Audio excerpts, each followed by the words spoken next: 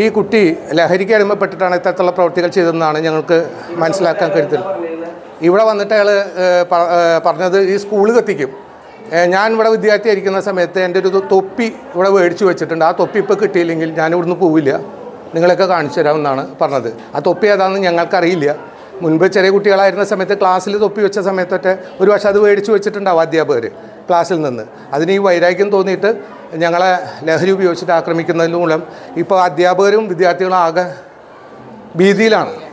രണ്ട് വർഷം മുമ്പാണ്. ഈ വർഷം ഫസ്റ്റ് ഇയർ ഈ വിദ്യാർത്ഥി പഠിച്ചിരുന്നു പരീക്ഷ എഴുതി. രണ്ടാം വർഷം ഈ കുട്ടി ഇവിടെ വരികയും അധ്യാപകരോട് മോശമായി പെരുമാറുകയൊക്കെ ചെയ്തു. അതിനുശേഷം ഞങ്ങളെ എല്ലാവരും ആ സഭ്യം പറഞ്ഞ് ഇവിടുന്ന് ഇറങ്ങിപ്പോയതാണ്.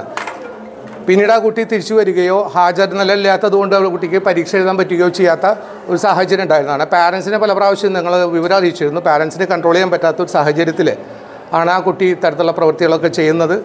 അപ്പോൾ ഇത് ഞങ്ങൾ പോലീസിലെ പരാതി കൊടുക്കുന്നുണ്ട്. ഇതുമായിട്ടുള്ള നിയമ നടപടിയായിട്ട് മുന്നോട്ട് പോകണം